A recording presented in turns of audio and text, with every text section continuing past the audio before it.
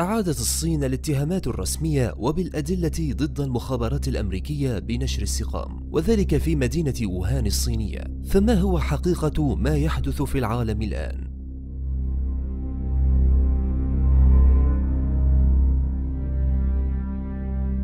قام الباحث الفلسطيني عبد الباري عطوان بنشر تقرير يكشف من خلاله الحقيقة الكاملة للاتهامات الصينية لأمريكا حيث قال في دراسة نشرها مؤخرا أن الحكومة الصينية عادت لتؤكد مجددا من خلال حقائق جديدة متوفرة لديها وقالت أن الولايات المتحدة هي المصدر الأساسي لهذا السقام وأنها تعمدت نشره في الصين من خلال عملاء وكالة المخابرات المركزية الأمريكية CIA فقد قامت شاو لي جيان المتحدث باسم وزارة الخارجية الصينية بتوجيه اتهام علني وخطير ضد الحكومة الأمريكية وأعلن عن وجود إثباتات تؤكد أن هذا الفيروس تم اختراعه وتطويره من قبل علماء أمريكيين عام 2015 وقال إن مجلة Nature Medicine الأمريكية أكدت في بحث نشرته عن ال SHC 014 من العام نفسه أن علماء في الولايات المتحدة تمكنوا من الحصول على نوع جديد من هذا الفيروس. له تأثير خطير على الإنسان.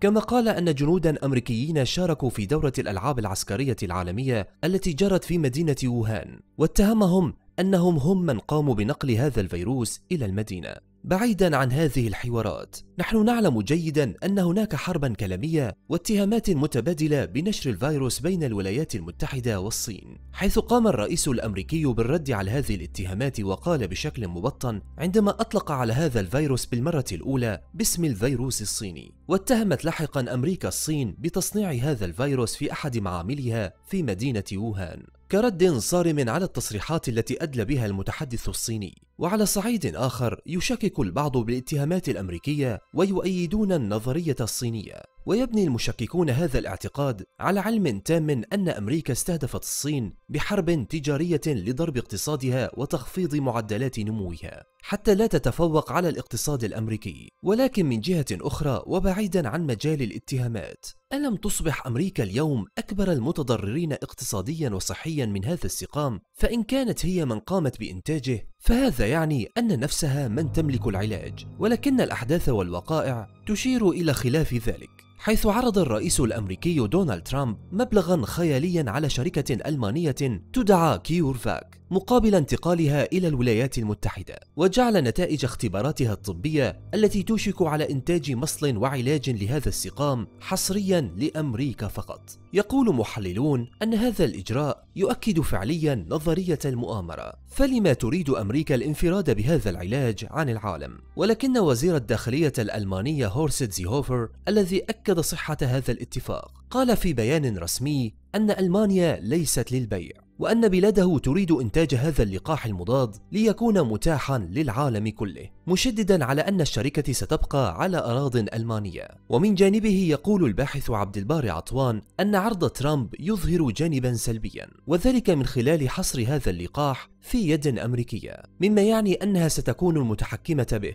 أي أن الدول والشعوب الصديقة لأمريكا ستحصل على هذا اللقاح. أما تلك المعادية لها فلن تحصل عليه. وستكون شعوبها مستهدفة بهذا السقام في المستقبل. إن أزمة الفيروس المنتشر حاليا أثبت أن الصين أكثر تقدما من الولايات المتحدة ودولا غربية عديدة في هذا المضمار. وذلك بالنظر إلى النجاحات الكبرى التي حققتها إداريا وطبيا في التصدي لهذا السقام وتطويق أضراره في زمن قياسي. فبينما كانت على رأس أكثر الدول المتضررة أصبحت اليوم من أكثر الدول نجاحا في إيقاف وعلاج المرضى. بينما ما زالت الأنظمة والمؤسسات الصحية الغربية تتخبط في هذا المجال حيث أكدت وزارة الصحة الصينية أنه حتى لو عاد الفيروس فإنها ستكون مستعدة لمواجهته والقضاء عليه بحكم خبراتها التي أثبتت فعاليتها. وفي هذه الأيام وصل فريق من الخبراء الصينيين تطوعا إلى إيران وإيطاليا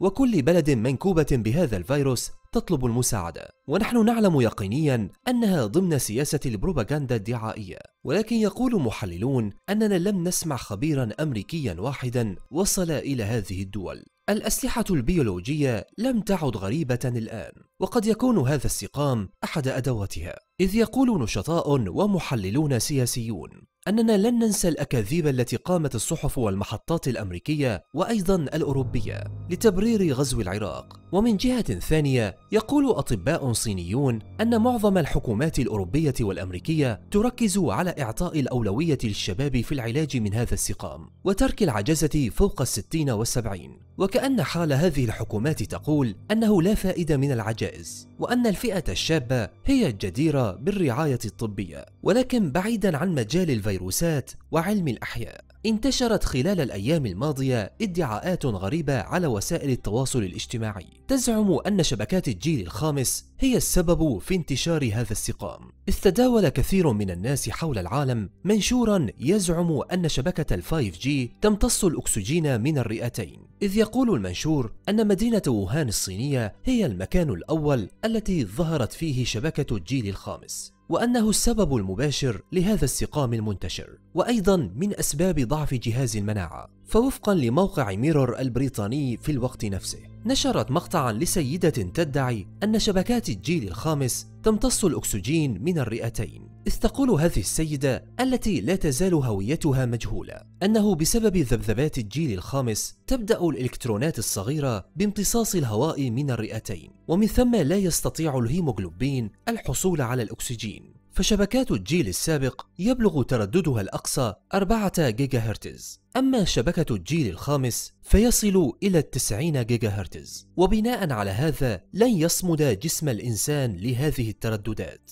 وسيتوقف فجأة نقل الأكسجين إلى الخلايا. ولكن هيئة الصحة الإنجليزية تقول نعم إنه من المحتمل حدوث زيادة طفيفة في إجمالي التعرض للموجات اللاسلكية عند إضافة شبكة الجيل الخامس إلى الشبكات الموجودة.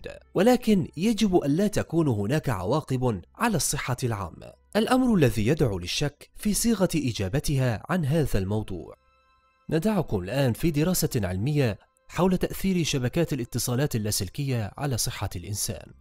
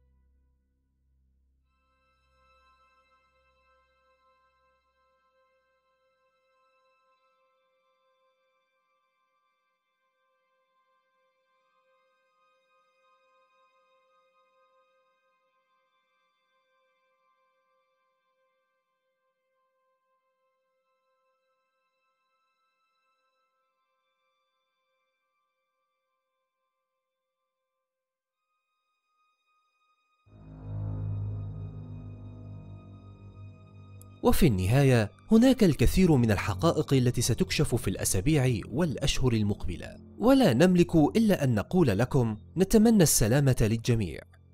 إذا أعجبك هذا التقرير لا تبخل علينا بالضغط على زر الإعجاب والاشتراك بالقناة. وللمزيد يمكنك تصفح أكثر من 500 مقطع مختلف على قناتنا. شكرا لمتابعتكم.